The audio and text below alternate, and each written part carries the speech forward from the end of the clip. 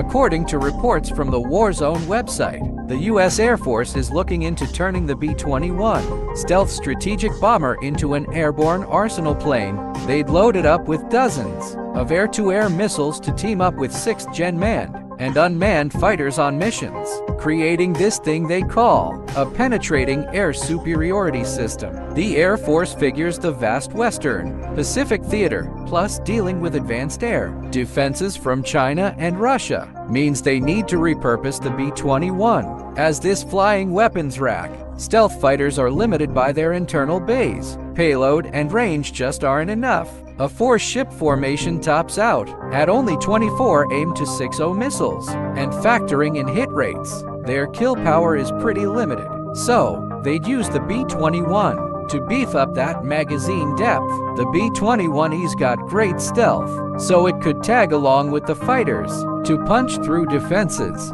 Its bomb bays are huge, letting it carry dozens of air-to-air missiles. Paired with that four ship, you'd push the total missile count over 50, doubling the number of targets you can take out. It could also sling longer range. AIM-174 air-to-air missiles to stretch the engagement envelope and hit high-value stuff like AWACS planes or tankers if they link up the data links with the stealth fighters for collaborative combat. The B-21 turns into a mobile armory. But here's the rub, the B-21E's main gig is deep strikes on key targets, stuff nothing else can touch. Using it as a missile truck might not be worth the trade-off.